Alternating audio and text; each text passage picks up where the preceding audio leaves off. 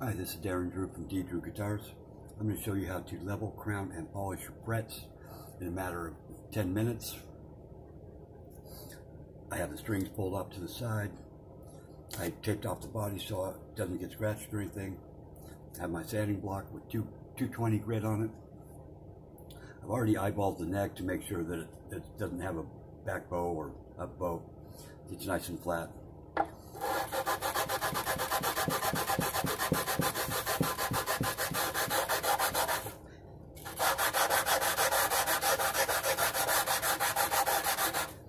Want to sand until you see all the frets being, being touched. The longer the block, the flatter the frets are going to get. So on, on a mandolin, it's like, I'll turn the block even a little bit sideways to use it because six inches is a little bit long for a mandolin. But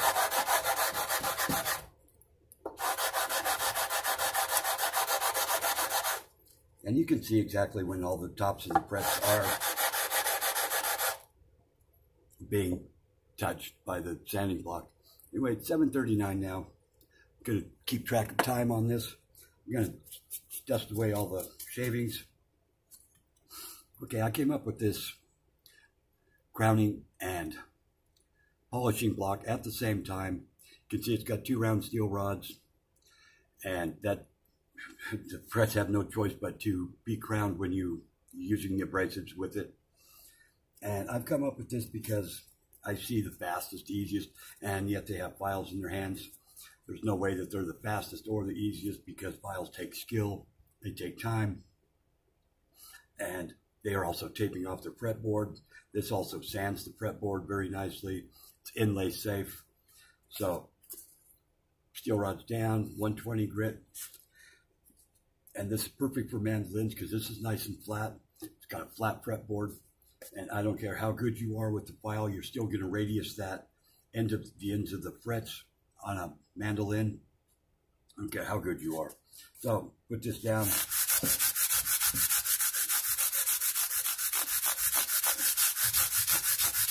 Just work it back and forth. I roll it off the edge just a touch to get the bevels.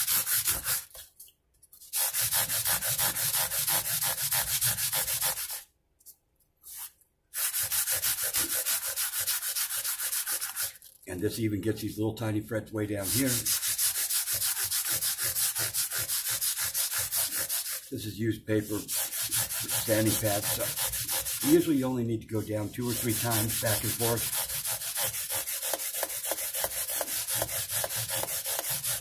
This will give you perfectly crowned frets every time. It's very consistent. Wipe off the, the dust. Don't want to work as much in there. You also want to keep your pads as clean as possible. 180 grit.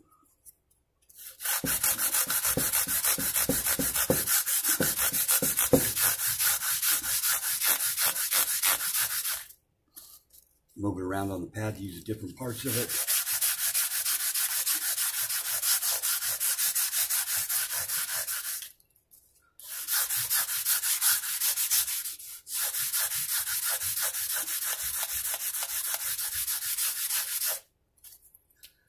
Wipe it off again.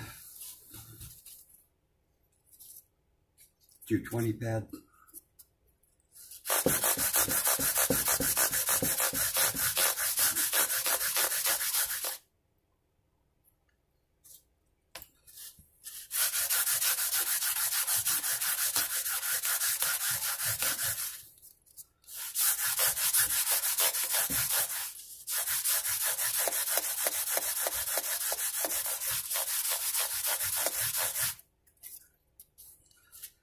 Very fast on the mandolin.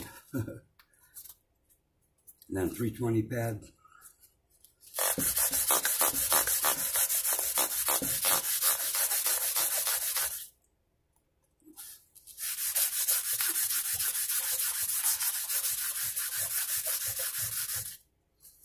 And these frets will come out as good as any factory does.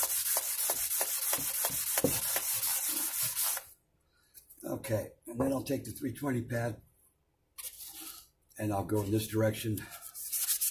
It will help smooth them out a little bit more even.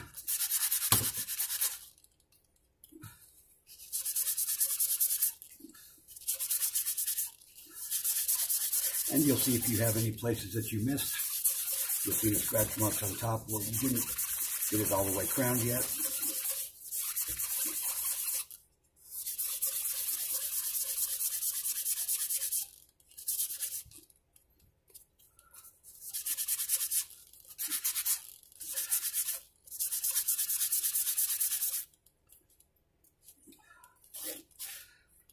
Now I'll take a rag with some denatured alcohol. I will clean it, get all that dust out of there.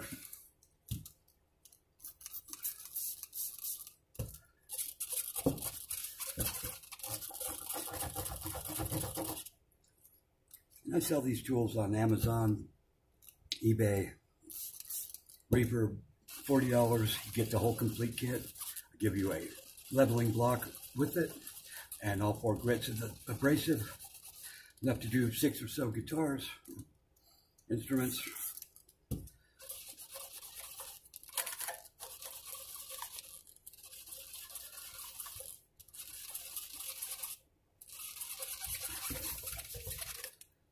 Get all that out.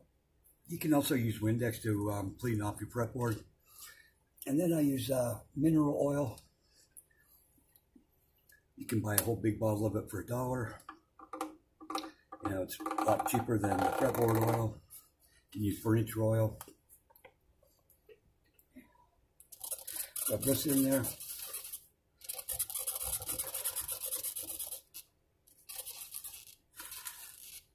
Gotta Get it inside all these little frets.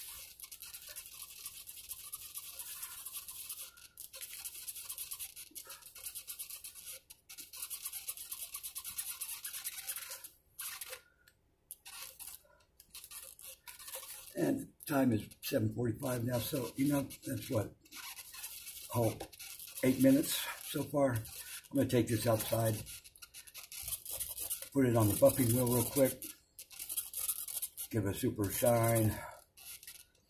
I know most people don't have a buffing wheel, but these frets here are as good as any company out there. I'll guarantee it like they are. It's an expensive mandolin, so I'll just go one step further. Okay, now if you can see, perfectly crowned, leveled, frets, consistent every time, matter of eight minutes. There you go. My name's Darren Drew. Please subscribe and like. I'll have more videos to share. Thank you very much. Bye-bye.